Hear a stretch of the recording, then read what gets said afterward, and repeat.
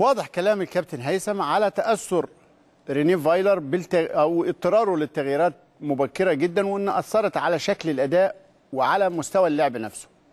لكن على ذكر ريني فايلر الناس اللي كانت شككت في بدايته وما عندوش CV قوي و... أخباركم إيه دلوقتي عاملين إيه بجد؟ لسه شايفين إنه من الصح تحكم على مدرب قبل ما تشوفه أو أي حاجة قبل ما تشوفها؟ لسه عند كلامكم بأنه الأهلي جاب مدرب أي كلام والأهلي استرخص والأهلي و و و ولا بتتابعوا التصنيفات العالمية؟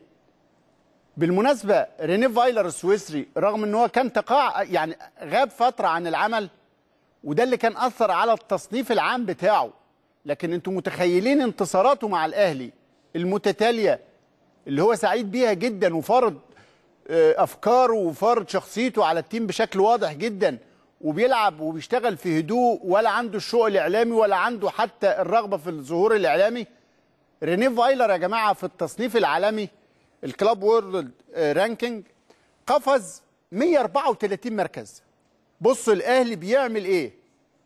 بصوا الأهلي بيعمل إيه مع المدربين؟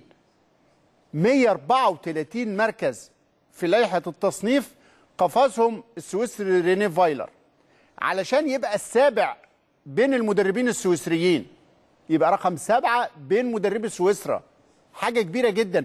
ويبقى التصنيف العالمي بتاعه 407 بعد ما كان 511 فتقدم كبير كتير رغم إنه كان قبل ما يجي الأهلي قعد فترة ما بي ما بيمرنش فكان ترتيبه متأخر.